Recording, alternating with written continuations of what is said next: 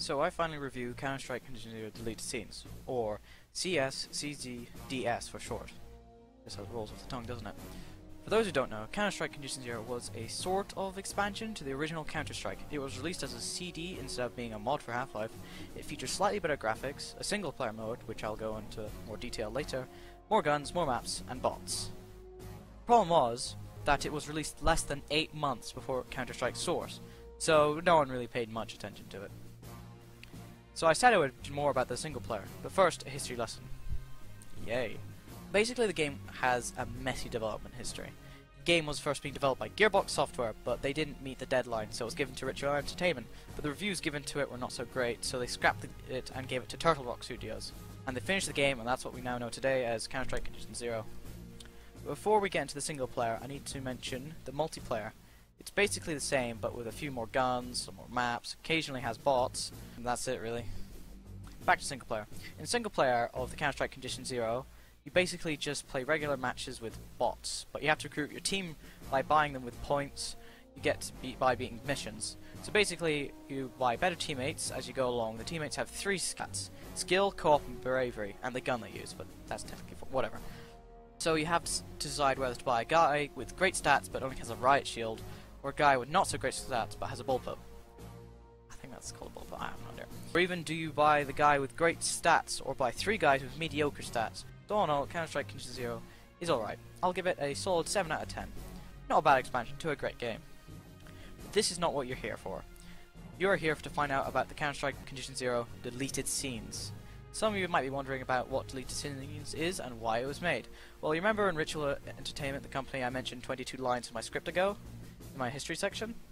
Well, the build they made for Counter-Strike Condition Zero, the one that they scrapped, they thought they could just bundle in with the real game to make more content.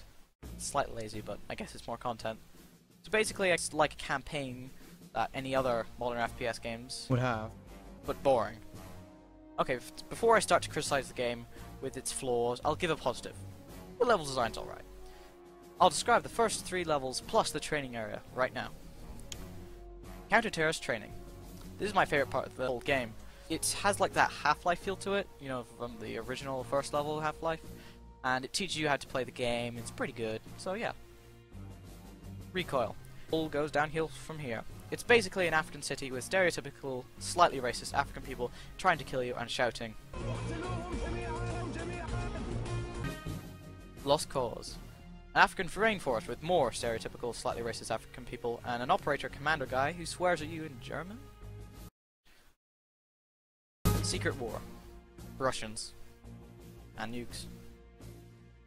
So now to the gameplay. It's not great.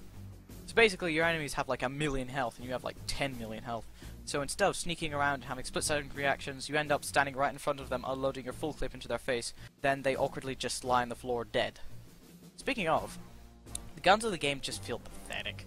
Instead of like, I don't know, normal Counter-Strike, where your gun has basically replaced your dog and feels more powerful than, I don't know, just insert random powerful thing here.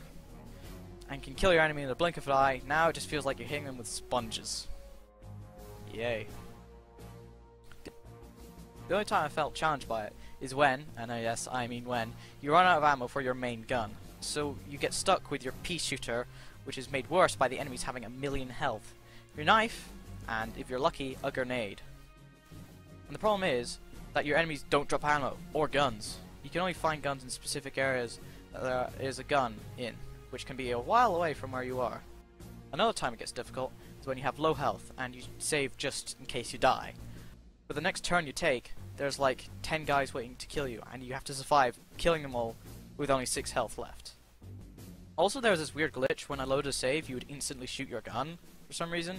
The thing was, I once loaded my save with a crosshair pointed towards a hostage, and I killed her instantly, and it made me reload the last save. Uh, that was my last save. So the verdict, 4 out of 10. Not painful, just boring. Anyways, you get it bundled with Counter-Strike and Counter-Strike Condition Zero, so you're not really paying for it. So thanks for watching, and maybe like and subscribe, because if I continuously ram that on your throat, then it might work. Right? Anyone? No? But seriously, thanks for watching.